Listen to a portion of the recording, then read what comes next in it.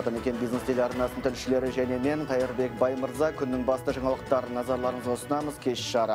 Коронавирус Қазақстанға да жетті. Бүгін денсаулық сақтау министрі еліміздің үш азаматы аталған індетке шалдыққанын жариялады. Вирус көпшілік қауіптеніп отырған Қытайдан емес, Еуропадан келді. Қос қазақстандық инфекцияны Германияда, тағы біреуі Италияда жүріп жұқтырған. Қазір науқастар бас санитар дәрігерінің қаулысымен карантиндік стационарға жатқызылды. Күннің басты ақпаратын әріптесім Алмас Мұсабек мұқият бақылап отырды. Ол дәл қазір бізбен байланысқа шығады. Алмас, үш күн бұрын болжам жасаған Бекшин мырза бірдеңені білді ме екен, әлде бас санитар дәрігердің біз білмейтін сәуегейлігі бар ма? Қалай ойлайсыз? Иә, Жандарбек Бекшиннің болжамы дәл келді. Еліміздің бас санитары 10 наурызда наконец-то деп мәлімдеме жасаған болатын. Ал коронавирус жұқтырған алғашқы қазақстандық Алматыға тура бір күн бұрын, яғни 9 наурызда қоныпты. Десек те қауіпті індеттің Қазақстанға жеткенін бірінші болып кімнің және қашан білгенін дөп басып айту қиын. Ал вирусты инфекция анықталған екінші жолаушы Германиядан кеше түнде оралыпты. Әзірге коронавирус жұқтырған қазақстандықтардың жынысы мен жасынан бөлек ақпарат жоқ. Белгісі, ә, белгісі ә, бірі 1974 жылғы ер адам, ал екіншісі 1984 жылғы әйел. Мы не можем, разумеется, персональные данные этих пациентов раскрывать. Біз жеке деректерді ашып айта алмаймыз. Бірі ер адам, екіншісі әйел. Екеуі екі бөлек бортпен елге оралды. Алғашқысы тыйым салынғанға дейін және Германия бірінші сағаттағы мемлекеттер қатарына қосылғанға дейін келген. Екіншісі бүгін түнде келді. Ал COVID-19-ды жұқтырған үшінші науқас елордада тіркелді. Кеше Милан қаласынан оралған әйел адамнан коронавирус анықталып отыр. Еліміз, еліміздің бас дәрігері қазір бекітілген алгоритм бойынша эпидемияға қарсы барлық қажетті шаралар қолданылып жатқанын айтты. Дегенмен коронавирус жұқтырған алғашқы қазақстандықпен бірге бортта болған 73 адам бірден оқшауланбағандықтан жан жаққа тарап кеткен. Министрлік оларды карантинге жатқызу шараларына енді ғана кірісті. Елжан Біртанов жолаушылар тізімі болғандықтан кімнің қайда екенін білеміз және бақылауда ұстап отырмыз деді. Ал 12 наурызда келген ұшақтағы 12 азамат қазіргі таңда карантинде жатыр казахстанцам не, не стоит очень сильно переживать это. Қазақстандықтарға қатты алаңдаудың қажеті жоқ. Бұл респираторлық вирустық инфекция. Ол әртүрлі қалыпта болады. Тұмаудың сәл ауыр түрі. Көбірек су ішіп, маза кетсе қабынуға қарсы препараттар қабылдау керек. Егер жоғары температура, жөтел сияқты ауыр белгілер байқалса, жедел жәрдем шақырған жөн.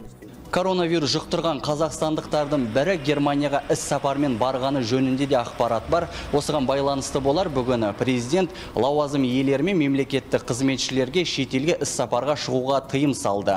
Күні кеше ғана үкімет 16 наурыздан бастап жоғарғы оқу орындары мен колледждер қашықтықтан оқыту жүйесіне көшетінін хабарлаған еді. Мектеп оқушылары да келесі аптадан бастап 21 күндік демалысқа шығады. Әзірге балабақшалардың жұмысына қатысты нақты шешім жоқ дегенмен жағдай ушықса мектепке дейінгі білім беру мекемелері де уақытша қызметтерін тоқтатуы мүмкін. Осыған байланысты бүгін мемлекет басшысы баласымен үйде отыруға мәжбүр ата-аналарды ақы төленетін еңбек демалысына жіберуді тапсырды. Жақын күндері Қазақстанға коронавирусты анықтау үшін қосымша 100 мың тест әкелінбек. Осыған дейін жеткізілген 15 мың тесттің 5093-і пайдаланылған.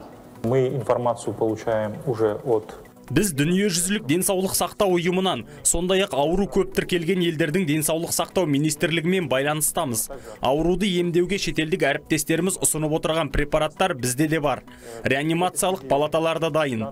Осылайша Қазақстан үкіметі коронавируспен күресудің бір жоспарына көшті. Осыған байланысты аймақтарда төтенше жағдайда жариялануы әбден мүмкін. Денсаулық сақтау министрі Елжан Біртанов өңірлерде қауіп күшейсе, тиісті шешімдерді әкімдер қабылдайтынын айтты. Төтенше жағдай жарияланған жағдайда бұқаралық шаралар ғана шектелмей, халық жиналатын орындарда, орындарда да бақылау күшейтіледі.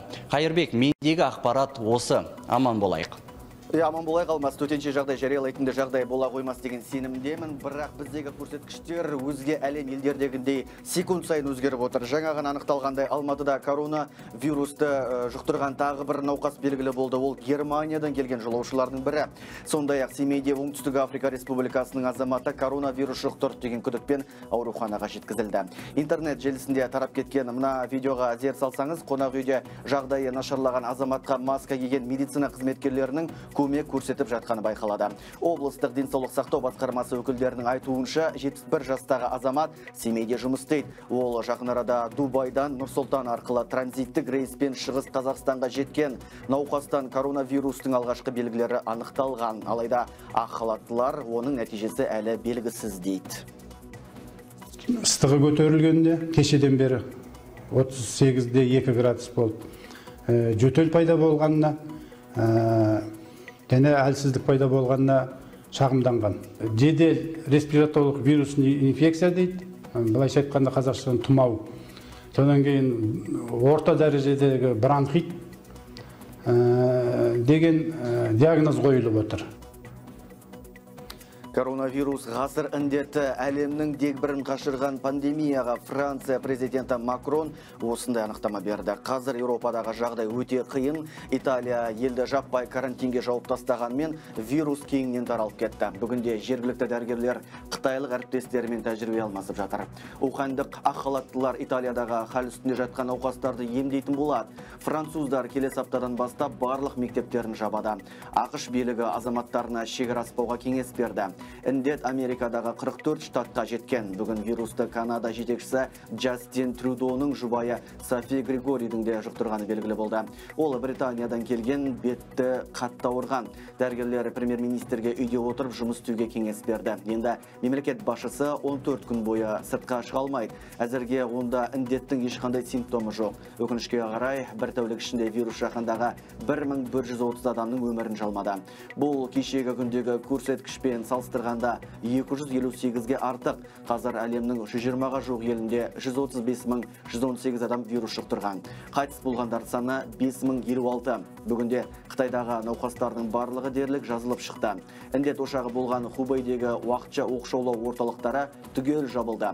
Италияда 15 мыңнан астам адам ауырып жатыр. Иранда 11364 оңтүстік кореяда 8 мыңға жуықтады. Испанияда 3004 францияда 2876 WHO Дүниежүзілік денсаулық сақтау ұйымы тәулік бойы жұмыс істеп жағдайды қатаң бақылап отыр. Өкінішке орай бейқамдық танытып жатқандардың кесірінен індет кең таралып кетті. Сол себепті біз COVID-19-ды пандемия деп атауға мәжбүр болдық.